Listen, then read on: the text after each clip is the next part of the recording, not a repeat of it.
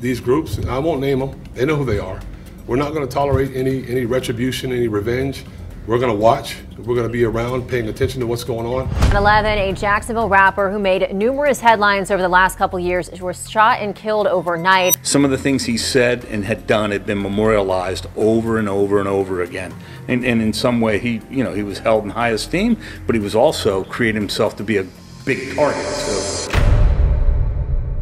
In the early hours of June 23, 2024, the streets of Tampa, Florida, became the backdrop for a tragic event that would send shockwaves through the hip-hop community and beyond. As rapper Julio Foolio celebrated his 26th birthday, he had no idea that the night would end in bloodshed. And now in the aftermath of the incident, the local community holds its breath as it prepares for even more bodies to drop. Fueled by revenge and grief, KTA Ops are openly sending warnings to ATK for taking out one of their own. Here's everything we know about the situation. Rapper Julio Foolio hit the streets on June 23, 2024, to celebrate his 26th birthday. He kicked off the celebrations in an Airbnb in Tampa, Florida, hours before he hit up X with a tweet celebrating the occasion. He wrote, God thank you for allowing me to see another year and to celebrate another birthday. Appreciate all the birthday wishes so far. Little did he know that it would be his last. Foolio documented the celebrations on his IG throughout the night. He was eventually kicked out for violating the property rules. That's when he hit up Holiday Inn to keep the party going. According to Foolio's lawyer, Louis Fusco, Mr. Jones had been in Tampa to celebrate his birthday over the weekend. Law enforcement reports indicate that he initially stayed at an Airbnb, but was asked to leave due to exceeding occupancy limits. He subsequently relocated to the Holiday Inn,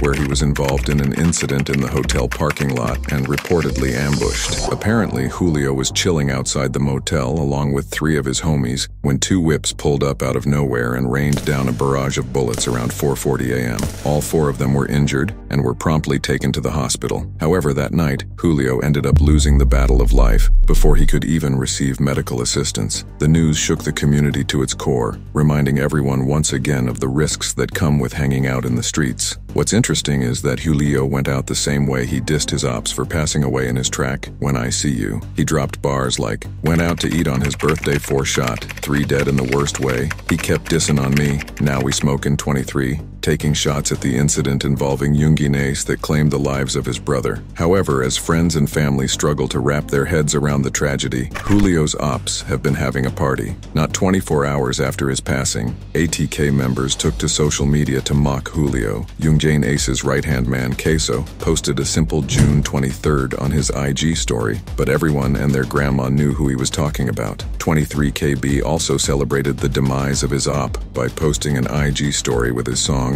Dead Guys. He also unlocked a new level of pettiness by giving a five-star review to Holiday Inn, the motel in front of which Foolio's entourage was lit up. But that wasn't enough, and so the rapper posted pictures of himself with a blank in front of the motel. We also got rapper Spinabenz disrespecting the dead. He tweeted, Game over, we won, but ATK Ops need to watch their words. Right now, KTA is hurting, and they won't hesitate to even the score. If there's one rule that the streets adhere to religiously, it's an eye for an eye. However, the most lethal diss came from Julio's sworn enemy, Yungeen Ace. Hours after Julio's passing, Yungeen tweeted, that boy going back the same day he came in. However, he quickly deleted the tweet. Now, a lot of folks thought that Ace was playing it safe to avoid having the authorities look in his direction, but it seemed like he had other reasons because on June 23, 2024, the same day Foolio passed away, Ace dropped a diss track, Do It, which many seem to think is meant to mock Julio's memory. Heck, there's even speculation about Ace admitting to taking out Julio himself. He dropped verses like, I don't even call him by his name, I call them N-words, Lil Do-Its.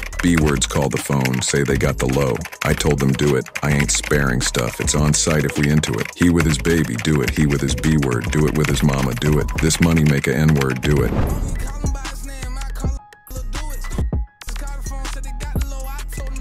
And in another verse, he goes, Stolens and rentals with choppers and killers in it. Catch his A word and do his A word. You know he finished flip his A word and smoke his A word. We stand on business. All my N words get active. Jump in car. We out in traffic.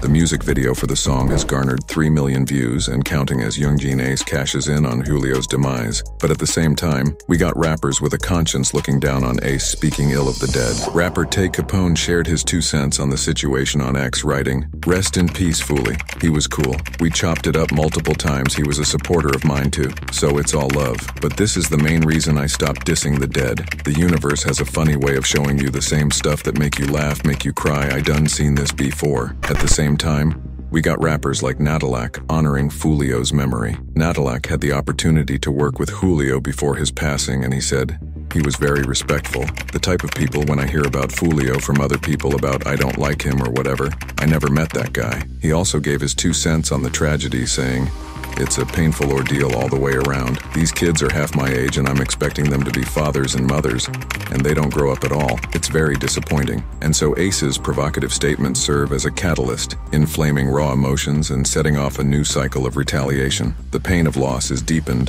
the wounds are reopened, and folks brace themselves for yet another round of bloodshed in this seemingly endless feud. Over the years, the local community has witnessed a tragic cycle of violence, as the two gangs, ATK and KTA, have spilled blood in the name of retribution. Each act of vengeance meant to even the score has only resulted in more pain and loss, with no winners emerging from this deadly feud. The beef between ATK and KTA stretches back further than many can remember. Yet, in the shadow of their relentless conflict, the only constant has been the rising toll of shattered lives and grieving families, and the beef between Julio and Ace has been at the center of it all. It all started when Julio's cousin Zion Brown was taken out after a man broke into his West Side home in May 2017 and shot him. Zion was only 19 years old and his passing had ATK aka Ace's top killers fuming. A few months after the shooting, Authorities were able to pin the incident on 19-year-old DeAndre Thomas. And get this, Thomas was one of Yungeen's homies. Seven months before the Zion incident, these two were at the center of a plot to rob a marijuana seller at Orange Park. However, KTA aka Kill Them All did not find any comfort in Thomas's arrest. They wanted to spill blood to even the score, and that's exactly what they did. Back in June 2018, Ace hit the streets with 18-year-old Royale Devon Smith Jr., aka 23, 19-year-old Jerkaby Deshad Groover, and 18-year-old Trayvon Bullard, aka Ace's younger brother. They were out celebrating Trayvon's birthday when some ops pulled up on them and sprayed them down. Ace ended up taking eight shots. However, it wasn't his time because he managed to survive. Unfortunately, his brother and the rest of them weren't as lucky. The horrifying incident sent shockwaves through every neighborhood, underscoring the fragility of existence in a place where violence reigns supreme and peace is but a fleeting dream. But did it put an end to the meaningless rivalries? Absolutely not.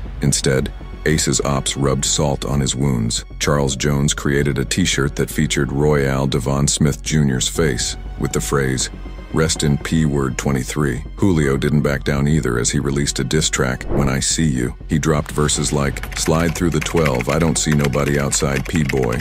You don't get no rep off doing drive-bys ace from the west. How he clicked up with the east side. He ain't been the same since he's seen the other three die B word. I'm 2-3 high B word. Say your goodbye. Gave that boy the business. Like a suit and a bow tie, light them boys block up.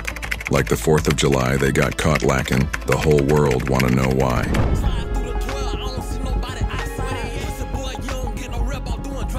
Now, Foolio wasn't exactly making friends, and so blood continued to be spilled on the streets. Fast forward to January 2019, and someone lit up the Paradise Gentlemen's Club, taking rapper Boss Goon's life. Queso also had one of his family members injured in the shooting. ATK struck back by taking out Charles Quentin McCormick Jr., aka Lil Buck. Next month, Foolio lost his lil brother Adrian Garner, aka Bibby, at Jacksonville's Hilltop Village Apartments. And like always, Foolio's ops didn't miss the opportunity to poke fun at his pain. Queso released a mixtape Bibby out with pictures of the dead slapped on the cover. And just like that, the relentless cycle of violence persisted, driven by pride and vengeance, leading to yet another heartbreaking loss. Julio's tragic end serves as a grim testament to a conflict that seems destined to claim more lives, leaving the community to mourn and wonder when, if ever, the senseless bloodshed will cease. However, if there's one thing everyone knows for sure, it's that the beef between ATK and KTA is far from over. That said,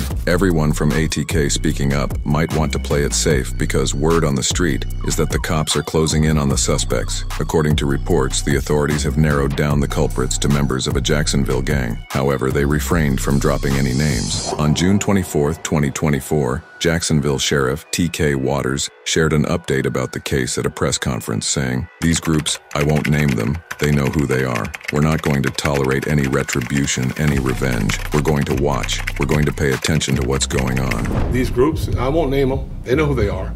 We're not going to tolerate any, any retribution, any revenge.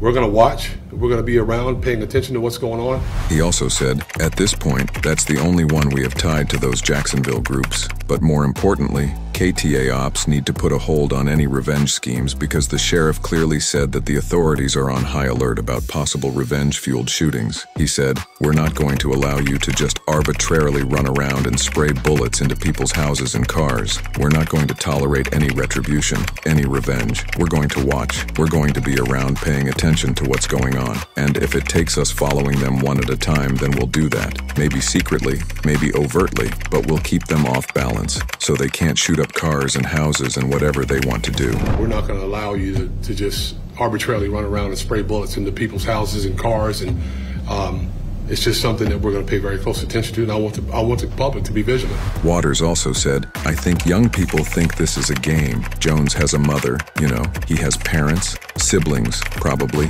friends, and they have to deal with these kind of losses, and it's unfortunate. It should never happen to our kids, and I've never seen so much devaluing of human life, you know, like it's fun, and they talk about it in rap videos and songs. It just, it doesn't make any sense. I think um, young people think this is a game.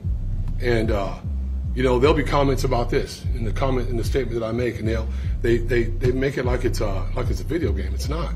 This is real life. So he has a mother, you know, he has parents, he siblings, probably friends, and um, they have to deal with these kind of losses, and it's unfortunate. It should never happen to our kids. Uh, and I, I've I've never seen so much devaluing of human life. You know, it's like it's like it's fun, and they talk about it and. Uh, in, in rap videos and songs, and it's just doesn't make any sense.